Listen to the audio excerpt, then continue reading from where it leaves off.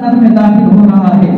خواب میں دیکھنے والا شخص اب پوچھتے ہیں، اے اس شخص تو بہت بڑا گنہ گار تھا، تو بہت بڑا فاسق و فاجر تھا۔ آخر تیرے ایسا تو تجھ کو ایسا موقع کیسے حاصل ہو گیا؟ تجھے اس جنت کا لباس کیسے پہننے کے پہننے کے مل گیا؟ اس شخص سے فرما، اس شخص کہتا ہے، ضرور میں گنہگار بدکار تھا، لیکن جو ہی قرآن مجید دیکھتا جہین کہاں جہین بھی دیکھتا، کہیں بھی دیکھتا، قرآن شریف کے طرف سے چھو لیتا قرآن شریف کو دیکھ کر کھڑا ہو جاتا اسی کی سبب سے اللہ تبارک و تعالیٰ کو یہ آگا اتنا پسند آیا کہ مجھے اسی کا ادب و قرآن شریف ادب و احترام کے کرنے کی سبب مجھے اللہ تبارک و تعالیٰ بخش دیا ہے سبحان اللہ اور اور اسی طرح ایک واقعہ ملتا ہے بہت بڑا کوئی بادشاہ گزرا ہے جس کا نام محمود غزنوی رحمۃ اللہ علیہ ہے محمود غزنوی رحمۃ اللہ علیہ ایک دن اپنے گزرے میں آرام کرنے کے لیے بستر پہ جو بھی آرام کرنے جاتے ہیں؟ کیا دیکھتے ہیں؟ تو روم اس کمرے میں تاک کے اوپر قرآن شریف رکھا ہے۔ حضرت محمود غزنوی رحمت اللہ علیہ سونے سے پہلے دن سونے لگتے ہیں۔ دل میں خیال آتا ہے۔ قرآن شریف تاک پہ رکھا ہے۔ میں آرام کروں۔ یہ عدب کی ادب کے خلاف ہے۔ قرآن شریف کو دیتے ہیں اور دوسرے کمرے میں رکھ دیتے ہیں۔ پھر خیال آتا ہے۔ میں اپنی آرام کی خاطر قرآن کو یہاں سے ہٹا کر دوسرے کمرے روم میں رکھ دوں، یہ بھی ادب کا خلاف ہے، یہ ادب کے خلاف ہے۔ پھر وہاں سے قرآن مجید کو لوگ اٹھاتے ہیں۔ پھر جہاں قرآن مجید پہلے رکھا تھا، پھر وہیں رکھ دیتے ہیں۔ اور حضرت محمود غزنوی رحمۃ اللہ علیہ۔ اور آرام کرنے کے لیے دوسرے دوسرے مکان میں چلے جاتے ہیں۔ وہاں پر وہیں آرام کرتے ہیں۔ جب محمود غزنوی رحمۃ اللہ علیہ کا انتقال ہوتا ہے، کسی نے خواب میں اسے دیکھتا ہے۔ محمود غزنوی رحمۃ اللہ علیہ، جنت کے باغوں میں ٹہل رہے ہیں۔ جنت کے اچھے اچھے میوے کھا رہے ہیں۔ جنت میں اباغوں کے قدم باغوں میں سے ایک باغ میں ٹہل رہے ہیں۔ پھر پوچھنے والے نے پوچھا خواب میں جو دیکھا وہ پوچھے اے محمود غزنوی اے بادشاہ سلامت، آخر تجھے یہ مقام کیسے حاصل ہوا؟ محمود محمود غزنوی فرماتے ہیں، ارے مجھے کوئی نیک عمل کا برکت نہیں، بلکہ میں نے قرآن مقدس کو ادب و احترام کیا۔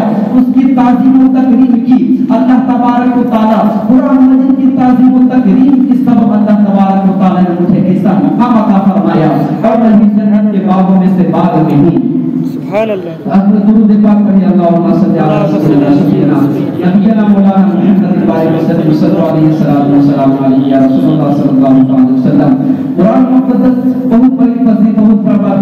کتاب ہے۔ ایک اور واقعہ بیان کرتا ہوں، اس سے اندازہ لگا سکتے ہیں کہ قرآن مجید کتنی برکت، کتنی فضیلت والی کتاب ہے۔ قرآن مجید پڑھنے سے کتنا بڑا انعام کرام ملتا ہے۔ حضرت عیسیٰ نبی علیہ السلام کا دور زمانہ تھا۔ حضرت عیسیٰ علیہ السلام کہیں تشریف لے جا رہے تھے۔ کیا دیکھتے ہیں؟ قبر میں عذاب ہو رہی ہے۔ طرح طرح کی عذاب مبتلا ہے۔ طرح طرح عذاب قبر سے گرتا ہے۔ کیا دیکھنے کے بعد حضرت و حضرت عیسیٰ علیہ السلام روانہ ہو جاتے ہیں۔ رفعی حاجت کے بعد، کچھ دن، کچھ دیر کے بعد جب واپسی ہوتی ہے، تو کیا دیکھتے ہیں؟ اس قبر میں جو کچھ ہی دیر پہلے جو قبر میں عذاب ہو رہی تھی، اب اس قبر میں عذاب نہیں ہو رہا ہے، بلکہ نور کی بارش برس رہا ہے۔ رحمتوں کا نور ہو رہا ہے۔ نور ہی نور ہے رحمت قبر میں۔ اور حضرت علیہ السلام حیران ہو جاتے ہیں۔ آخر کیا ہے ابھی تو کچھ دیر پہلے اس میں عذاب ہو رہا تھا۔ آخر ایسی کون سی بات ہے جو اس میں کچھ ہی دیر بعد اس میں نور ہی نور ہے نور کی بارش ہو رہی ہے۔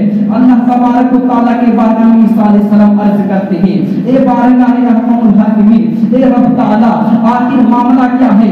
اس بندے کو ابھی عذاب ہو رہا تھا، لیکن کچھ ہی دیر بعد اس کے نور کی بارش ہو رہی ہے۔ اس کی قبر میں نور رہی ہے۔ رب تعالیٰ کے آواز رب تعالیٰ کی ندا آتی ہے۔ عیسیٰ علیہ السلام، یہ گنہگار بندہ تھا۔ یہ بدکار بندہ تھا۔ یہ اپنی گناہوں کی سزا پا رہا تھا۔ لیکن یہ مرنے سے پہلے اپنی بیوی کو حاملہ چھوڑایا تھا۔ اس کا اس نے یہاں بچہ پیدا ہوا ہے۔ اور وہ بچہ آج مدرسے گیا ہے۔ اور استاد اس کو اور بسم اللہ الرحمن الرحیم پڑھایا ہے۔ میری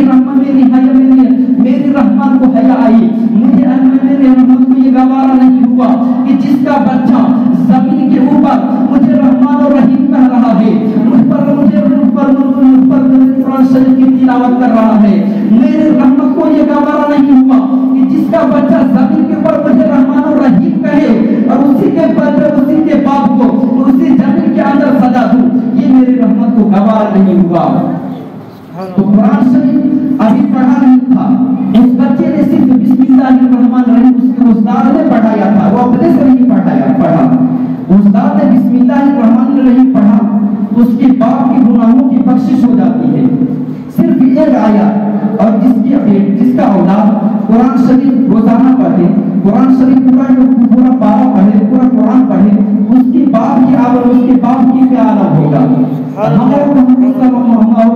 چاہیے کہ اپنے اولادوں کو قرآن سے سچی محبت کی ترکیب دے اپنے خود بھی قرآن شریف پڑھیں اور اپنے اولادوں کو ضرور قرآن شریف پڑھائیں علماء کرام فرماتے ہیں کہ آج کل کے بچے اپنے آپ نافرمان نہیں ہو رہے ہیں اس میں ہمارے نبی فرصت ہماری غلطیاں ہوتی ہے اگر قرآن شریف سے محبت بچے کو دلائی جائے تو اولاد کبھی نافرمان نہیں ہوگی علماء کرام فرماتے ہیں کچھ ہو نہ ہو بچے کو تین چیز ضرور سکھایا آج بچے کے ذہن میں ضرور دلایا کریں۔ بچوں کے اندر نبی کی محبت ہوگی تو بچہ کبھی نافرمان نہیں ہوگا۔ وہ بچہ کبھی غدار نہیں ہوگا۔ دوسری چیز، نبی کی اولاد کی نبی اہل اہل بیت کی محبت اس کے اندر ضرور دے جس کے اندر اہل بیت کی محبت ہوگی، جس بچے کے اندر، جس انسان کے اندر اہل بیت کی محبت ہوگی، وہ کبھی غداری و فاضلوں کے نافرمانی نہیں ہوگا۔ اور تیسری بات، قرآن مجید سے سچا